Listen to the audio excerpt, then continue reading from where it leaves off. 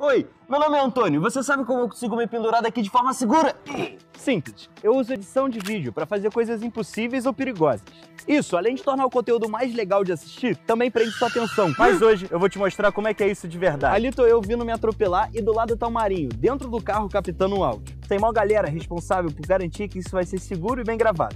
Ali tá a galera responsável por captar a imagem e o som. Mas é aqui em cima que a magia acontece.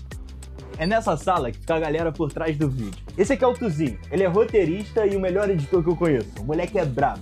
A gente faz vídeo junto desde que a gente é criancinha. Esse aqui é o Dex. Ele é responsável pela fotografia, cor, luz e muito mais.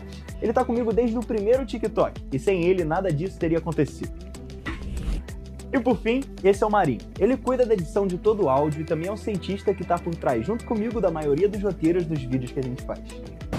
Fofo isso. Meu ponto com isso tudo é mostrar que tem muita coisa por trás desses vídeos você precisa estar muito atento com as coisas que você vê por aqui. A plataforma está lotada de gente com talento incrível e isso é irado. Tentar replicar ou acreditar em tudo que você vê aqui é muito perigoso. Eu nunca me coloco em risco para gravar esses vídeos, galera. Você está em dúvida se é perigoso a trend ou o que você viu no vídeo? Então pare, pense e reporte. Por favor, não compartilhe atos arriscados. Mas não pode esquecer,